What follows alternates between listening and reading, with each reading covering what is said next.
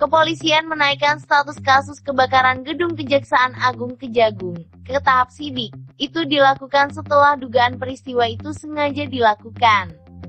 Kabar Eskrim Komjen Polistio Sigit Prabowo mengatakan kebakaran di gedung utama Kejagung memiliki unsur kesengajaan dan direncanakan oleh pihak-pihak yang ingin gedung tersebut terbakar.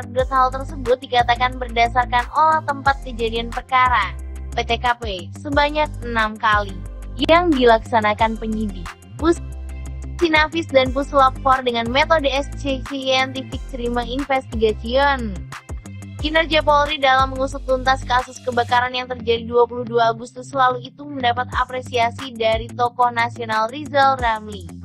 Melalui akun Twitternya, mantan Menko Perekonomian itu memuji dua pimpinan tertinggi di Polri, Kapolri Jenderal Pol Idam Aziz dan Kabar Eskrim Komjen Polistio Sigit Prabowo.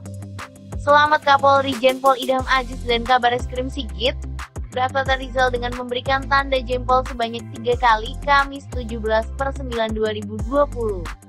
Menurut deklarator kami itu, kasus pembakaran gedung Adiaksa itu merupakan kejahatan luar biasa.